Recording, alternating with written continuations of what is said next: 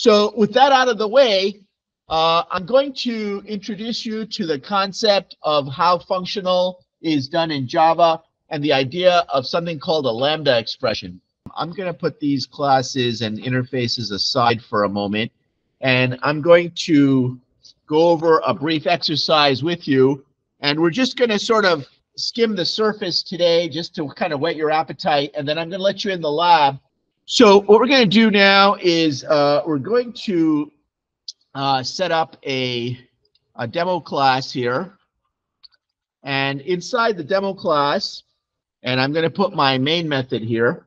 And I'd like you to follow along with me and do this. In here, uh, what I would like you to do is uh, we're going to create a method uh, called greet. Now, as I mentioned to you, this lecture is taken from uh, the, Java, uh, the J Java Brains YouTube course, and I'm repeating a lot of the examples that he does in here. So what I'm going to do is I'm going to create a method uh, called greet. And uh, what I'm going to do inside my main method, and this method is very simple, it just says hello. And inside my main method is uh, I'm going to ask you to create an object and to call the greet method. You know what? Let me change this. Let me change this to say uh, greeter.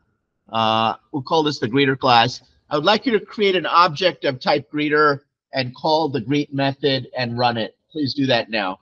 Okay, Mr. Emrani, how do I create a greeter object, sir? Okay, and now, Mr. Uh, Emrani, sir, how do I call the greet method? Okay, like that. So let's just run this. And there is my hello. So, so far, nothing uh, that fancy. Now, let's uh, make this a little bit more complicated. Let's say that um, I want to create different types of greeters. Uh, maybe this is like an American greeter, and then um, uh, maybe we have a different one that's like Australian. It says good day instead of hello, like that, right?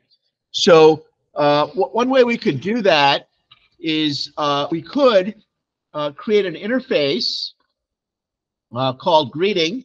And so let's do that for a second. So I'm going to come up here and uh, we're going to create a, um, an, a new interface.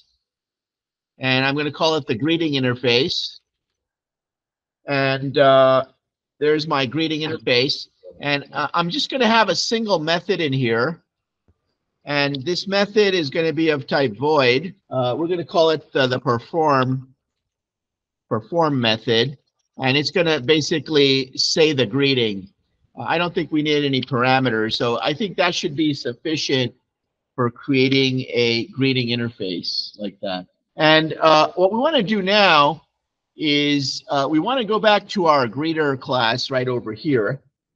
And we want to we want to modify this code now. Uh, so what we're going to do is we're going to have it take a parameter. It's going to take as a parameter a greeting object. So we're going to go greeting, greeting, uh, greeting, like that.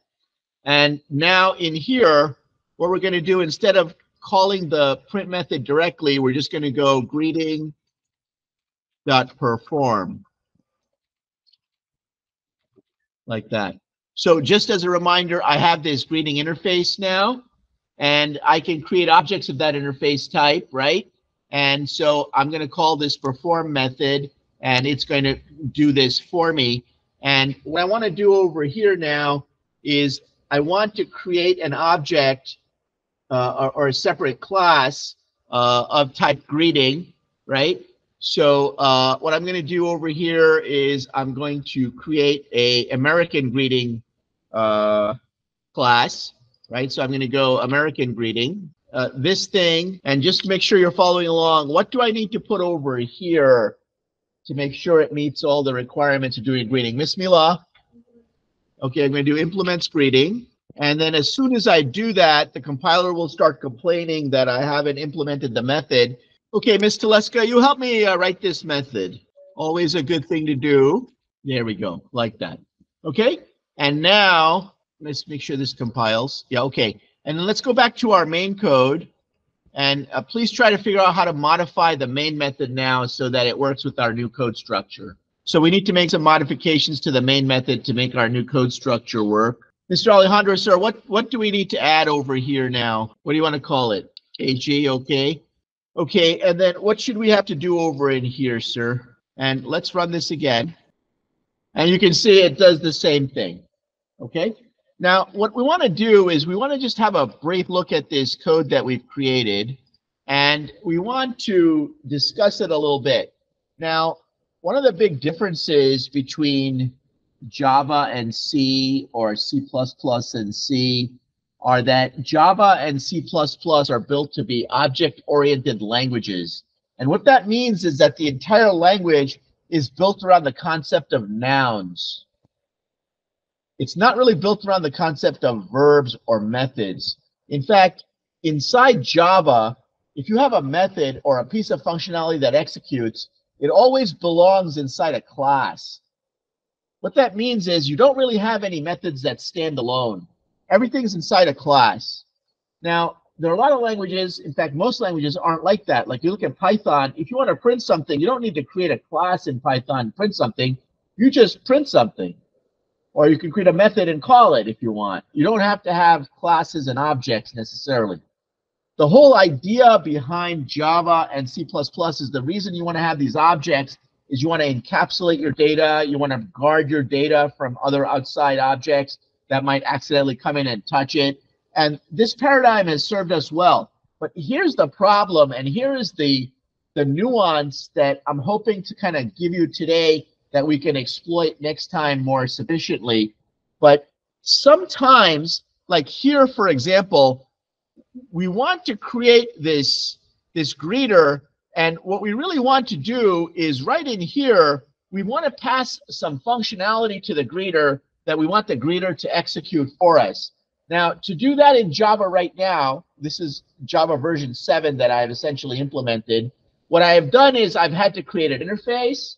Then I've had to uh, create an object of that interface type. And then I had to pass that object here to the greet method to have it know what to execute. Now, that's an awful lot of work that we're doing when what we really want to do is we want to take a piece of functionality or a method per se, and we want to pass that method around and, and give it to another method to say, here, execute this code for us. That, that's what we want. And up to Java version 7, we couldn't do that. Another way to think about this, another way to think about this is I want you to imagine that we have, you know, we have variables in Java, right? So we have like a variable like this. We have int x equals seven, and then we might have like um, we might have like string s equals uh, abc, like that, right?